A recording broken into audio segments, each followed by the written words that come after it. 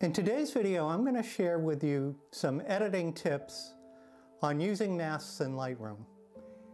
I'm also going to show you one of the hidden tools that you can use while using these masks.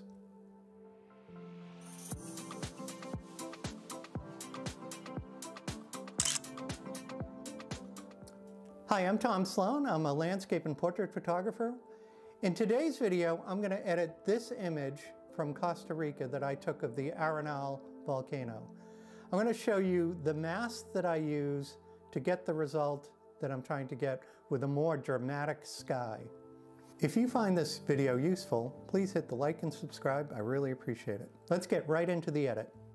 So this is the photo that I captured one afternoon uh, in Costa Rica of the Arenal vol volcano. It's not often that you get to see the volcano. Oftentimes it's uh, shrouded in, in clouds. I did some basic edits because I want to focus on the masking component of this. So I um, did my typical bring down the highlights, open up the shadows a bit, find my white point, black point, vibrance and saturation. If you want to see how I do that, uh, you can look at uh, some of the videos that I have uh, on my channel. This is the photo before. And then uh, after making those basic adjustments, uh, this is what the photo looks like. So you can see that it's a little more vibrant. I did add some saturation, etc. I also made some edits to the tone curve so I can show you what that impact is right there off and on. So let's go up to the masks. So I'm going to start with a mask of the sky. So as you can see, uh, Lightroom's uh, did a good job finding the sky, but it doesn't always do a great job. So I'm going to do a subtract mask on this, uh, a subtract brush. Uh, this is how you can remove some of the leaking of the sky into the into the foreground here. I'm going to brush that on or subtract off that. So I'm going to take a brush and I'm going to move that flow up so that I can remove some of the masking that Lightroom has done to the mountain. It's added some of that here. So I'll remove that. And then what I want to do here is I want to bring down the exposure a bit. And I usually, uh, to get a more dramatic sky, combination of highlights and exposure. Highlights are more subtle, so if you bring down those highlights, you'll get a little bit more detail in the cloud. If you go too far with the exposure, it just looks pretty darn bad. So you want to want to adjust that right about there. Uh, I also want to add a little bit of clarity to the clouds and a little bit of dehaze into the sky. What I want to do here is I'll show you this hidden tool. If you hover over the add and subtract and click on the alt button, you're going to get this intersect. And if you click on that, what I want to do is add a linear gradient to this. And what that will do is it'll allow me to gradually introduce this into the sky from the top from the top to the bottom. So, and gradually it will add that. It'll reduce it, and what it does is it creates a more natural line bet between the sky and the foreground. So I'll show you the difference here. If you look closely, you can see there's a little bit of white that you see the little bit of artifact as part of that masking. But if you add this, the more gradual really goes away. And it's more natural where it's going to be darker up and lighter at the horizon. The next thing I want to do here is I want to highlight the volcano itself. It's a little bit hazy, so I'm going to uh, try and bring that feature out in this photo. And I'm going to use a brush to do that. And I am going to brush this on. And I've got auto masking on, so it should do a pretty good job of staying out of the sky. But I'm going to add this to the volcano. I just want to have this pop a little bit more, especially since it was a bit hazy.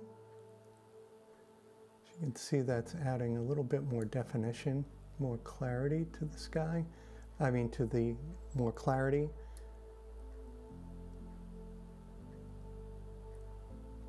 Add a little, just a little bit of exposure, a little bit of contrast. And I think it helps to see that a little more clearly. What I want to add now is a mask to the foreground just to reduce the exposure. So I'll add a linear gradient, come straight up from the bottom here. And I just want to be focused on the just want to be focused on the volcano. So I'm just going to bring that exposure down maybe a third of a stop. Okay. Next thing over here, I find that to be a bit distracting, so I'm going to add a radial gradient to this area over here.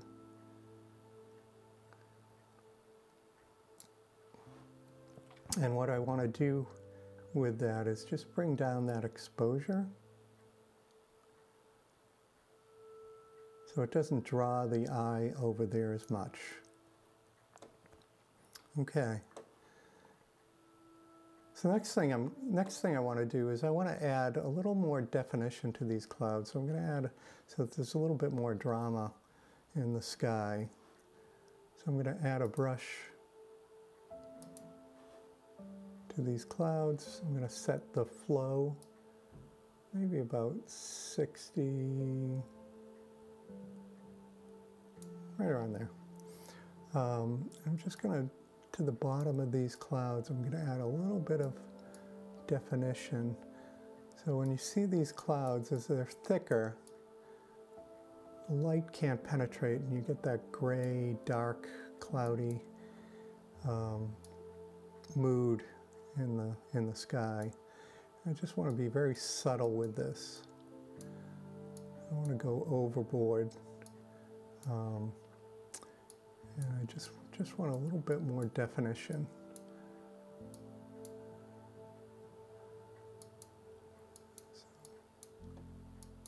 Okay, so what I'm going to do here is I'm going to exaggerate it a little bit. I'm going to, as you can see that is adding a little bit of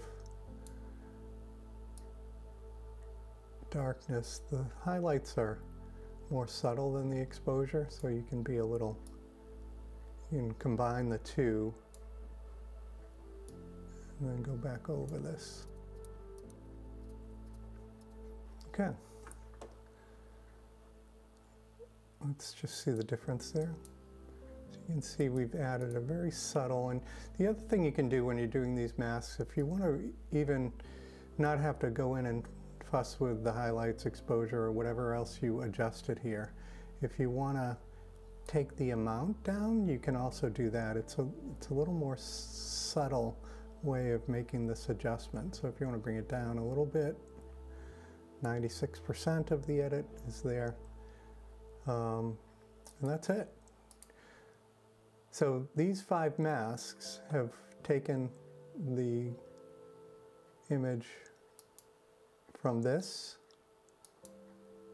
to this. And overall, so that's the impact of the masks to this image. Here's the before. I did all of the edits, and here's the after. So I hope you found that video helpful. If so, hit the like and subscribe, and I will see you in the next video.